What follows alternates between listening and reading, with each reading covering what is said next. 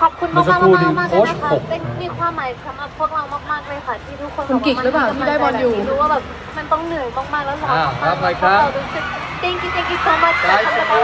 ยโอ้โห you guys เดี๋ยวขึ้นไปหานะคะมาสู่เอแฟนอแฟนคลับพี่เกฟเป็นไงครับสู้ๆนะครับสู้ๆนะฮะฝั่งด้านนี้ด้วยนะฮะสู้ๆนะฮะ คุณเกสจะลงแล้วนะคะคุณเกส